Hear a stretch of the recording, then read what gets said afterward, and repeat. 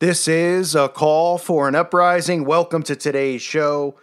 Stories like this are not good news. Not good news for me, not good news for you. Really, it's not good news for anyone out there.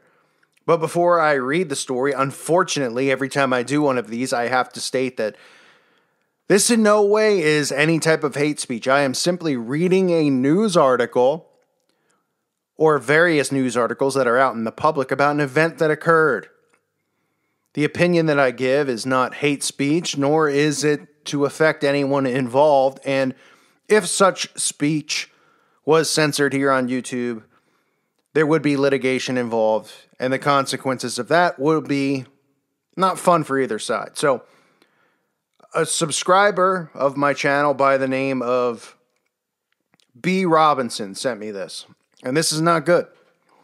Two conspiracy theorists who claim that the church shooting, which killed 26, was staged by the government, have been arrested for harassing congregation and threatening to hang a pastor whose daughter died in the massacre. Now, obviously, this is relating to the Texas shooting. Of course, the church has been torn to the ground after the fact. When people read this, they kind of just go, oh, these people are crazy conspiracy theorists, right?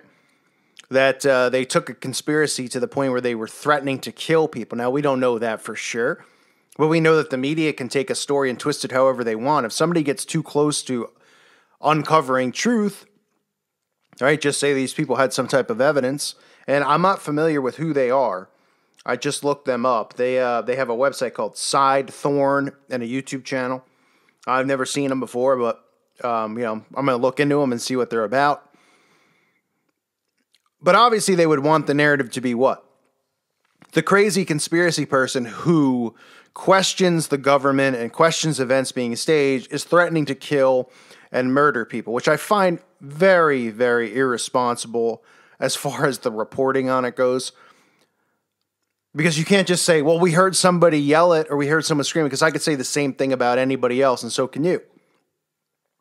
But the fact that they're trying to censor people in this way and then report on it and say we be, we all need to watch out because there's conspiracy theorists out there who believe this stuff so much that their mental health becomes a problem, right? And what are we hearing with the stuff from Valentine's Day? That's the main thing they're talking about with the gun control movement. They're not. They're trying to word it so they go, well, we're not talking about taking everyone's guns away. So don't be so paranoid if you're a hunter or you're someone who owns a gun and wants to protect your home. We're talking about these mentally unstable people. So then it goes down to, well, who do you deem mentally unstable? And guess who falls into that category? You and me. And why do they deem us mentally unstable? Because we refuse to believe their narrative, because we critically think, because we question things, because we look at things and we go, there's an agenda behind it. The main people out there, the zombies who exist, are naive. They're people who get walked on their whole lives. They let their job and their workplace walk on them. They let their relationships, the people in them, walk on them. They let their fan because they never question things, and they just always want to pity themselves and then post it on Facebook. People like us, we question things because there's holes in stories. You know, you get people laughing after some of these events when they're supposed to be emotional. You get people the same day of the event calling for gun grabs instead of crying or actually caring. Regular people go, that's a little weird. You know? It's like I said in the video I did a couple weeks ago. That a bird, you know, when a bird runs into my window and dies, I get upset about it. I'm not going to, you know, cry a ball of tears. I get upset. It bothers me. It might bring a tear or two because it's sad because it's not a way that a bird should die because we probably shouldn't have these stupid windows that we had. Right? But that's emotion about a bird.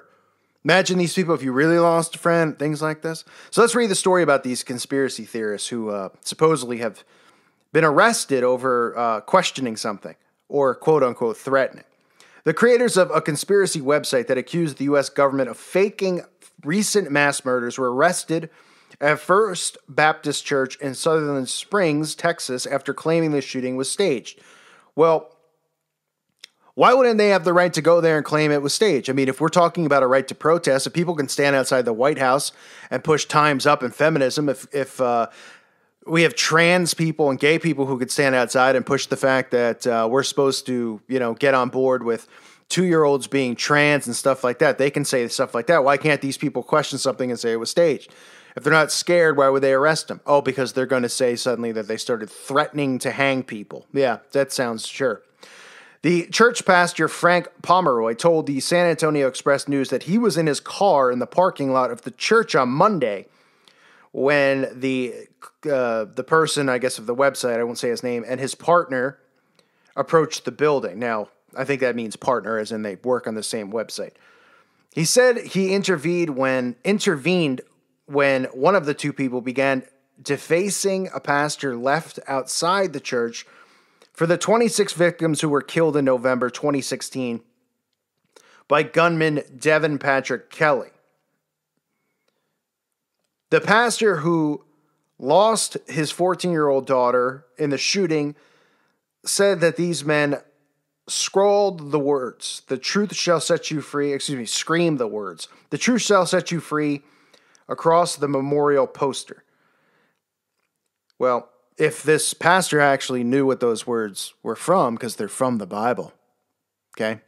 Not sure if he knows that. So somebody somebody writes that outside your church and uh, you're a pastor, you probably should know it's from the Bible. But anyway, he said the pair who alleged that the shooting was staged by the U.S. government of Homeland Security and also claimed that the, the preacher's daughter never existed and demanded that the pastor show him the girl's birth certificate. I just told him there was enough evidence already visible. That's what he told the outlet. So if he chooses not to see that, how would I know he would believe anything else? Then the men made threats toward the pastor. Contin- they continually yelled and screamed and hollered and told him he was going to hang from a tree and then they were going to pee on him while hanging. A member of the church who witnessed the incident called police. The Wilson County Sheriff's Office confirmed that the two were arrested, but did not provide the information uh, as far as the formal charges, saying the incident, incident is still being investigated. So, allegedly, these men confront the guy and they say, Show us some evidence using their right to free speech. Now, harassment is a fine line, right? Anybody could say someone, I could say somebody's harassing me on my channel, right? So you could say someone's harassing you in the comments section, right? But what a coincidence that somebody had to be there and said they were threats, right? Because that's all it takes in this flawed system we have. Somebody can make up allegations against you and then have another person who's a Freemason just like them or whatever, Satanist just like them, and say, oh, yeah, I heard him say it. So I don't even like to leave the house. I mean, it, I really feel that way. You know, I'd rather have cabin fever and go down that way mentally than deal with, you know, some of the stuff they try to set people up with. And I'm not saying that these people are innocent or not, but let's read between the lines, right? What you can and can't say. Why can certain people get away with protesting certain things, right? Why can people uh, march on Washington next week for the incident on Valentine's Day. Why can feminists march? Why can anti-Trumps? They can march something, but if these people feel like there's a issue with this, they feel like they didn't hear enough evidence to believe it. Why can't they go there and question it? They have a right to free speech. Now you can say it's harassment if they, you know, cross a line of showing up maybe on their property. It's the person's, you know, his home, right? The, the pastor's home, if they show up there and they walk around his property, okay, then maybe somebody could say, hey, this is, you're crossing a line here. This is where he lives, his family lives. But they didn't do that. They showed up at the church, right? The new church, I suppose, because the other one was torn down very quickly after the event. So the two men, 54 and 56, are behind the conspiracy theorist site called Sidethorn. The pair post videos they claim as proof that the government is behind several recent mass murders, I won't uh, mass yeah murders excuse me including uh, I won't say which ones but the main ones right? Vegas Boston you know Florida Connecticut you can figure it out for yourself. And the article goes on to talk about 26 people were killed at this event including eight members of one family and a five year old were killed in the November 5th shooting. Uh, the gunman fled the church but died from a self inflicted gunshot after the two armed residents pursued him. So, what I'm just trying to say is show you this article is out there. Because remember, they're going to try to take our, and this is the reason that these people in the mainstream, like Kimmel and Fallon and all these guys, keep talking about us. It's not just because they need to deflect and they're afraid of us, it's because they're going to use this mentally unstable stuff against us. Because how can somebody define if somebody's mentally unstable? They don't know what's inside the person's head, right? They don't know what's in there until what? After the event happens, they go, oh, we should have mentally evaluated him. Okay, so then what? You go through his life and see oh, all these things or what he owns or what magazines he reads? Right, exactly. So then they'll suddenly go, well, they look at conspiracy websites, so they're mentally unstable. People like me, oh, they have channels, they talk about this stuff, they're mentally unstable. Right? So we shouldn't be allowed to have free speech. We shouldn't be allowed to have guns. We're the dangerous threats, and they throw us in FEMA camps. It's as easy as that. And you're going to see more stories like this come out, right? And again, I don't know who these people are. I don't know what they really did. And maybe they did harass and go too far. Maybe they did. But at the same time, you know that they're licking their chops to get stories like this out there because the end game result is they want to declare all of us mentally unstable, mentally sick, a problem, detriment to society, people who won't go along with stuff, typically Christians, right? Because we refuse to accept everything. They call us bigots, hateful, crazy people, right? And that's why there's so many empty white padded rooms and so many FEMA camps ready for people like us because they've left them open while there's lunatics running around who are dressing their two year two year old kids up.